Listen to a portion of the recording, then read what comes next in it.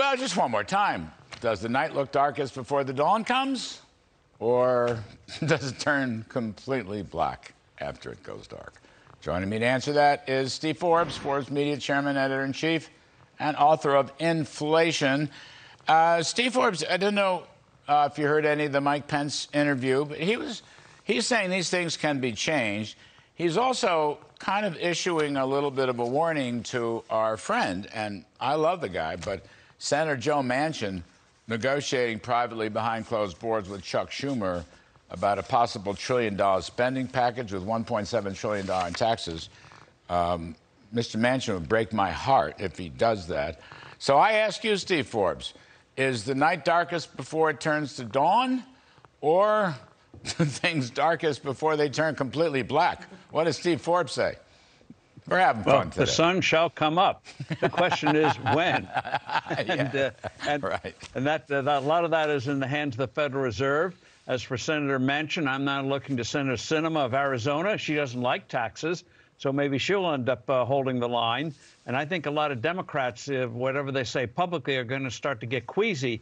Are you going to pass a big tax increase, another spending blowout, which people now associate with rising prices, when the economy is going into recession or a real slowdown?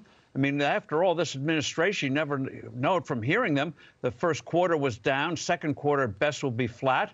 Third and fourth quarters, uh, at best, flat. So where's this great prosperity? Sounds like prosperity's around the corner, a very far corner with these with this crowd. A very far corner. You're probably right. So apparently, uh, Joe Biden met today with Larry Summers. Summers, of course, his probably his biggest Democratic critic about the big spending package 18 months ago, which caused inflation, which Summers did, in fact, along with others, uh, predict inflation would come. Um, do you think Biden would listen to Summers, take anything away? Because again, you hear rumors about this Build Back Small package, which sounds like, I mean, a trillion dollars of spending is only small when you compare it to five or six trillion dollars in spending.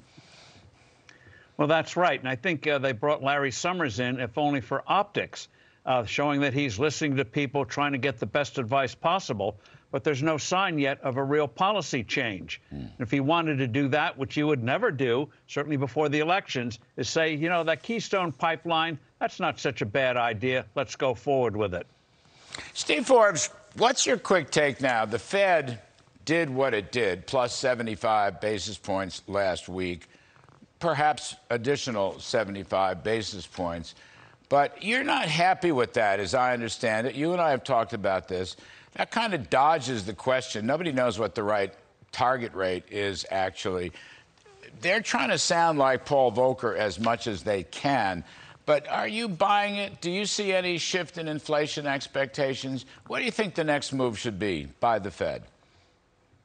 Well, what the Fed should do is start aggressively selling its bond portfolio, uh, free the bonds, and uh, in that way get it back into the private sector. They show no signs of doing that. That would be more meaningful than interest rates. All that does is artificially raise the cost of things. That should be set by borrower and lender. So, unfortunately, the Fed, the only way they know how to fight inflation, Larry, is crushing demand in the economy. That's why I think we're facing the real dangers of a real downturn. Then the question becomes what will the Fed do next when things start to hit the fan? We have an exchange rate crisis, perhaps brewing with Japan.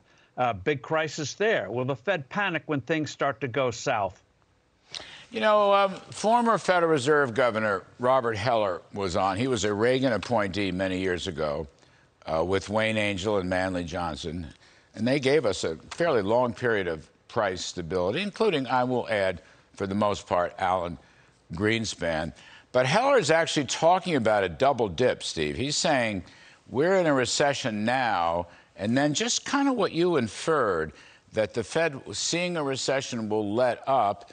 That will lead towards even higher inflation and then an even worse, much worse recession later on. Have you thought about this double dip scenario, which is kind of scary, but you know, then again, it's out there.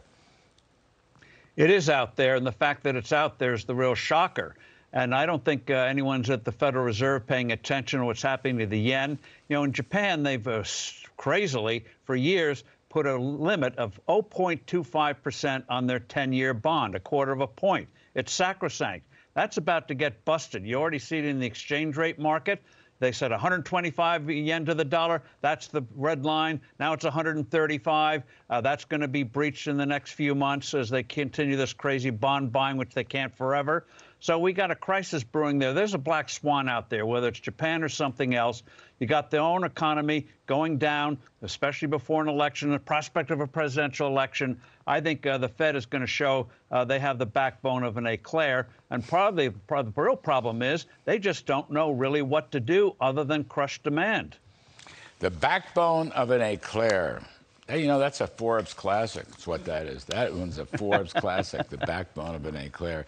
Steve Forbes, we will talk soon. Thank you very much for your time today. Thank you, Larry.